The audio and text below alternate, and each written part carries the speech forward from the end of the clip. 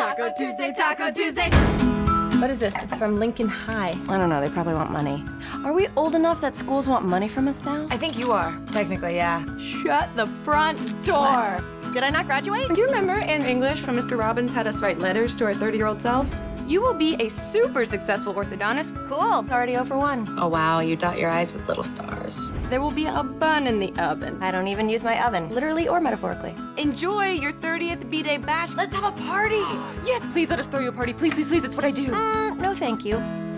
Your uh, profile picture looked a little different, I gotta say. Very perceptive of you, milady. On the weekends, I go golf. Goth. Golf. Golf? I go golf. Is that gonna be a problem for you? Throw me a party. Seriously? Yep.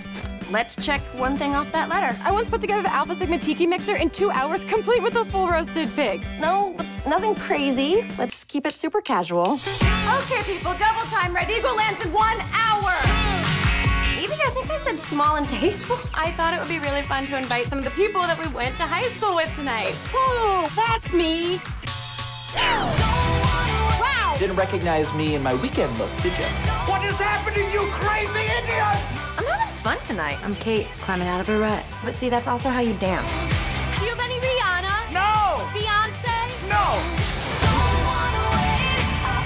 This is just like parties in high school. Ooh. Yeah. Are you okay? Maybe take these drinks outside.